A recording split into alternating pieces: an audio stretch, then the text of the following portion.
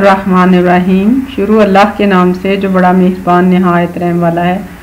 रब्बी ज़िदनी इल्मा, ए हमारे रब, हमारे इल्म अजाफ़ा फरमा।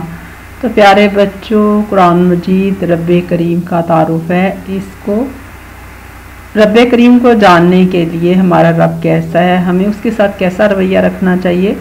कुरान हकीम को तर्जुमे के साथ पढ़ें। आपको उर्दू पढ़ना आती है, अपने ऊपर लाजिम कर लें। कि कम अज़ कम रोज़ की तीन आयात आपने कुरान मजीद की पढ़नी है तो एक साल में आपका पूरा कुरान तर्जमे से पढ़ा जाएगा। कुरान है कि लोगों की आँखें खोलता है और ईमान वालों के लिए हदायत और रहमत है। आज हम बात करेंगे राउंडिंग नंबर्स। राउंडिंग नंबर्स का मतलब होता है नंबरों को कामिल करना।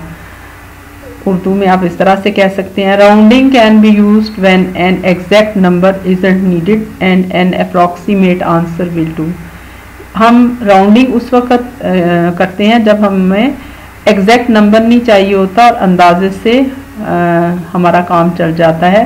Rounding is a way of simplifying numbers to make them easier to understand or work with number सादा हो जाते हैं और उनके साथ काम करना आसान हो जाता है। If last digit is less than five it is simply dropped अगर आखिरी डिजिट जो है वो पाँच से कम है तो इसको ड्रॉप कर दें मिसाल के तौर पर 1.943 को राउंडेड करके 1.94 लिखा जा सकता है। हमने थ्री को ड्रॉप कर दिया क्योंकि वो पाँच से कम है। This decreases the number of significant digits in the figure इससे जो अदाद शुमार है, उनमें एक नंबर कम हो जाता है। दूसरी एग्ज़ाम्पल है if the last digit is greater than five then the digit on the left is increase by one अगर आखिरी डिजिट पाँच से बड़ी है तो हम बाएँ साइड पे जो डिजिट है, उसको एक नंबर बड़ा कर देंगे, मिसाल के तौर पर। हम 1.47 को राउंडेड करके 1.5 कर देंगे।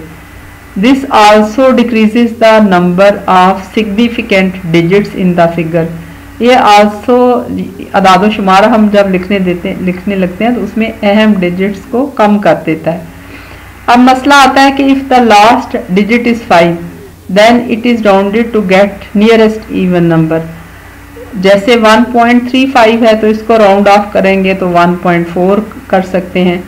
और 1.45 को भी राउंड ऑफ़ करेंगे तो 1.4 लिख सकते हैं। यानी ये आप ऊपर भी जा सकते हैं, नीचे भी जा सकते हैं, आपके अपने ऊपर मुनसर है। उम्मीद आपको समझ आई होगी। इस चैनल को सब्सक्राइब करें, इस वीडियो को लाइक और शेयर करें।